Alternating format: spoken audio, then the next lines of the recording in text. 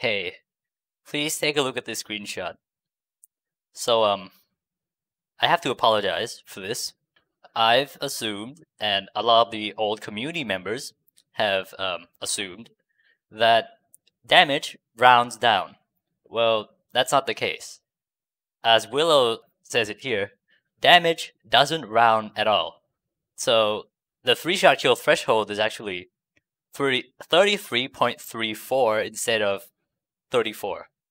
And um, this is a problem because uh, I've been doing the math wrong this whole time, ever since the first video.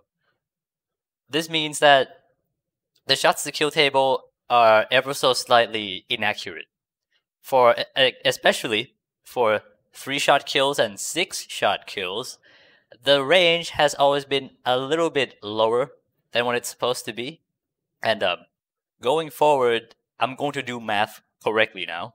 And uh, in the script I'm writing for tomorrow's video, it's already it's already been fixed. But I'm not going to take down any videos because it's a very minor error, except for the G11 video, which I've already taken down. Because with this revelation that I've been doing math wrong, that video is now just a massive disservice to the weapon as a whole.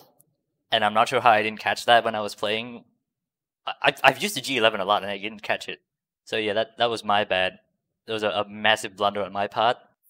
This mistake is never going to happen again. And in the future, I'm going to remake that G11 video with updated thoughts and statistics that actually reflects how the weapon works now.